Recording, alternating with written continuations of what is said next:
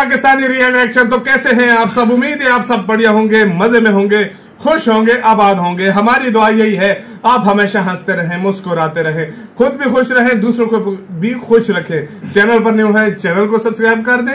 Bell icon को ज़रूर press कर दें ताकि आपको आने वाले हर न्यू वीडियो का नोटिफिकेशन मिल सके। मेरा नाम है मुदस्सिर। मैं मुबशर सो गाइस आज की वीडियो काफ़ी ज़्यादा कमाल की होने लगी है। बहुत ज़्यादा गाइस ये वीडियो रिक्वेस्टेड भी है। तो यार आ, सीधा आजकल जैसा कि मतलब आपको भारत पे काफ़ी कंट्रीज़ बातें करने की कोशिश कर रहे हैं specially G G seven countries तो वीडियो का जो टाइटल है वो है भारत ने कुछ घंटों में खेल को पलटा।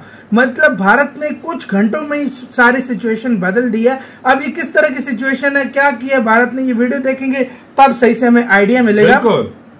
बिना किसी देरी के देखते हैं हिंदी नॉलेज शो का वीडियो इनकी वीडियो का लिंक मिल जाएगा आप लोगों को डिस्क्रिप्शन में। प्लीज़ इनका चैनल लाजमी सब्सक्राइब कीजिएगा। काउंट करते हैं three two one and start नमस्कार दोस्तों स्वागत है आपका हिंदी नॉलेज शो में। तो दोस्तों अब से तीन दिन पहले मैंने आपको वीडियो बनाकर बताया था कि इस समय आधी दुनिया भारत के सर पर चढ़ी हुई है।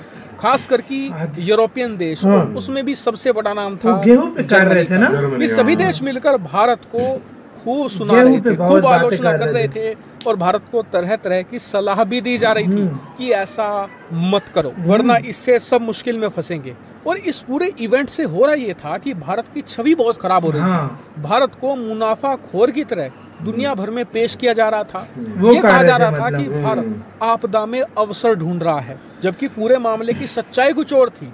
इतना ही नहीं इन देशों ने भारत की बात भी नहीं सुनी पूरी मतलब तरीके से। लेकिन आज भारत ने एक बहुत बड़ा कदम उठाकर इस पूरे के पूरे इवेंट को ध्वस्त कर दिया और साथ ही अपने खिलाफ चलाए जा रहे पूरे अभियान को भी अब रोक दिया है।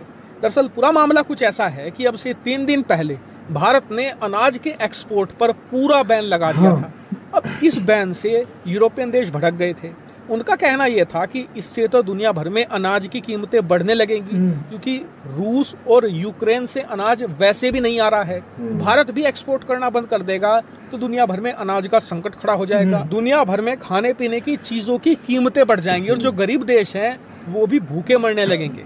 लेकिन भारत ने उसी समय यह कहा था जिस पर किसी ने ध्यान नहीं दिया। कि अगर कोई भी देश हमारी शरण में आएगा हाँ। सरकारी लेवल पर मतलब मांगेगा तो हम देंगे। तो हम उसे अनाज ज़रूर देंगे और अनाज और सस्ते दामों पर भी दे देंगे बिल्कुल ऐसा और भारत ने ये भी कहा था कि बैन लगाने का बस यही कारण है कि जो प्राइवेट खरीदारक है दुनिया भर में वो भारत से अनाज तो ले लेते हैं लेकिन उसे करके स्टोर हाँ, करके रख लेते हैं यानी कि जमाखोरी जैसे करते चाइना के लोग और। उनका मकसद ये है कि जब भारत का अनाज आना मार्केट में बंद हो जाएगा भारत सारा अनाज बेच लेगा उसके बाद जब अनाज की कीमतें हाँ, बढ़ने लगेंगी तब ये लोग अपना अनाज मार्केट में स्टोर प्रॉब्लम में बेचेंगे। और हम सोच इसी पाकिस्तान में होता है पूरी दुनिया में होता है। प्राइवेट कॉन्ट्रैक्टर को कोई भी अनाज देने से साफ़ इनकार कर दिया था। लेकिन अब हुआ क्या कि इजिप्ट जो एक बहुत ही बड़ा देश है जिसकी आबादी बहुत बड़ी है करीबन साढ़े दस करोड़ हाँ। लोगों का देश है ये। यहाँ पर अनाज की कीमतें बढ़ने लगी और अनाज की वैसे भी कमी होने लगी। क्यों? क्योंकि इजिप्ट का सारा अनाज पहले यूक्रेन या फिर रूस से आता। था। अब वहाँ से तो अनाज आ नहीं रहा। हाँ। ऐसे में देश के अंदर खाद्यान्न संकट बढ़ने लगा और इसीलिए इजिप्ट की सरकार भारत की शरण में आई है। इन्होंने रिक्वेस्ट मतलब करी है कि आप हमें इकसठ हज़ार पाँच सौ मीट्रिक टन अनाज प्रोवाइड करा दीजिए जल्द से जल्द मतलब वरना हम मुश्किल संकट में फंस जाएँगे। अब इजिप्ट के और भारत के बहुत ही पुराने और बहुत ही अच्छे संबंध रहे हैं। और इसी बात का लिहाज करते हुए भारत ने तुरंत इजिप्ट की परेशानी को समझा। और एक नोटिफिकेशन जारी करा जिसे आप स्क्रीन पर देख सकते हैं जिसमें बताया गया है कि इजिप्ट को हम इकसठ हज़ार पाँच सौ अनाज देने को तैयार हैं और हम तुरंत ये भेज रहे हैं। इसमें से चवालीस हज़ार तीन सौ चालीस मीट्रिक टन तो लोड भी किया जा चुका है बाकी का बचा हुआ जो सत्रह हज़ार एक सौ साठ मीट्रिक टन वो जल्द से जल्द लोड करके कांडला पोर्ट से तुरंत इजिप्ट के लिए रवाना कर दिया जाएगा जिससे कि इजिप्ट खाद्यान्न संकट और भुखमरी का शिकार हम्म। नहीं होगा। और आप यकीन मानिए इजिप्ट की इस रिक्वेस्ट पर जैसे भारत ने रिस्पॉन्ड किया और जितना तेज़ी से इजिप्ट को अनाज भेजा है उससे इजिप्ट भारत का कायल हो चुका है और यूरोपियन देशों का भी मुँह बंद हो चुका है। हाँ, वो तो ये कह रहे थे है। भारत दुनिया को भूखा मारने पर तुला हुआ है भारत दुनिया में अनाज एक्सपोर्ट नहीं कर रहा देश है यार तो भारत ने पहले भी कहा था और एक बार फिर से कहा है इस रिक्वेस्ट में कि जी हम उन सभी देशों को अनाज देने को तैयार हैं जिन्हें ज़रूरत है। हाँ। लेकिन अगर कोई प्राइवेट कॉन्ट्रैक्टर अपना जमाखोरी के लिए भारत से अनाज खरीदने आएगा तो भारत एक दाना भी नहीं देने वाला। सही किया है, सही जमाखोरी के लिए बताया कि भारत सरकार ने जो ये आक्रामक रणनीति अपनाई है इस पर आपका क्या मानना है? कमेंट करके ज़रूर बताएगा। फ़िलहाल इस वीडियो में इतना ही। Thank you very much watching video भाई थोड़ा सा ना पहले मुझे लगा था कि भारत ने मतलब वाकई कंट्रीज़ का क्या होगा? लेकिन आज भारत ने जो शक शोभा किसी के इंडियंस के भी दिमाग में होगा ना तो उसको भी भारत ने खत्म कर दिया। और मैं कहता हूँ यूरोप की तो मार के रख दी है जो ये वाला स्टेप लिया है भाई। है। यूरोप बातें कासरा जर्मनी का गंजा चांसलर कभी आता है। कभी हमें- वहाँ से बीडन पढ़ाता है कभी कौन बोलता है कभी कौन इंडिया ये काला मुनाफाखोर इंडिया आज इंडिया ने प्रूव कर दिया जेट में कीमत बढ़ी है।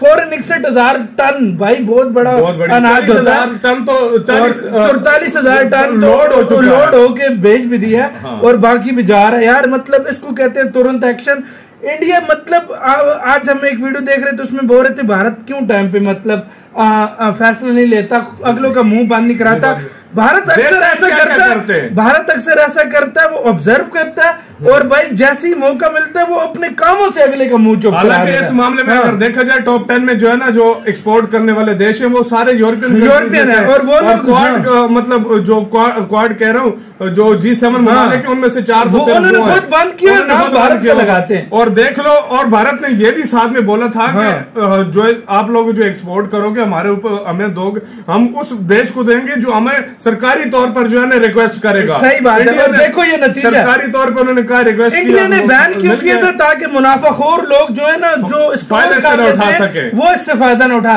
चाइना के कुछ मुनाफाखोर लोग वो लोग स्टोर कर रहे थे।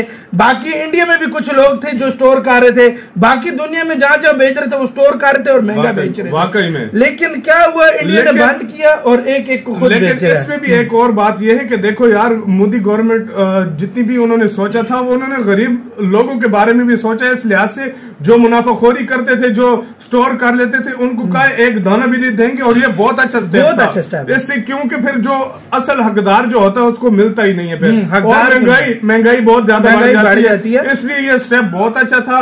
और अभी मुँह को बिल्कुल ताले लग जाएँगे यूरोप जी सेवन वालों पता चल जाएगा उनका मुँह वो क्या कहते हैं सिल जाएगा। टेप लग जाएगी सिल जाएगा, बिल्कुल। मतलब भारत अपने एक्शन से अगलों के मुँह बंद करना जानता है। ये आज प्रूव हो गया भाई ये चीज़ हाँ। भारत बातों से नहीं भारत अपने अपने कामों से। जो है ना हाँ। अगले के मुँह बंद मुँह बंद करता है। ये चीज़ यार मुझे भारत की बहुत ज़्यादा पसंद आई। गाइस आपका इसके बारे में क्या कहना है? इजेंट भी बहुत बड़ा आभारी हो जाएगा। और आप पता लगेगा भारत ने आखिर क्या किया था?